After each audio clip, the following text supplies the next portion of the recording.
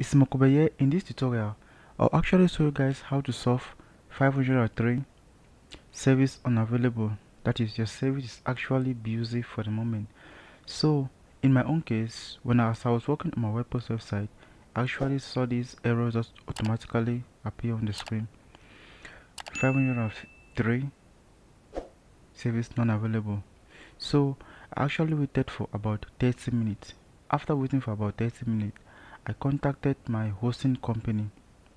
So they actually told me that there's a there's an error in the server, so I need to be wait for them to adjust it.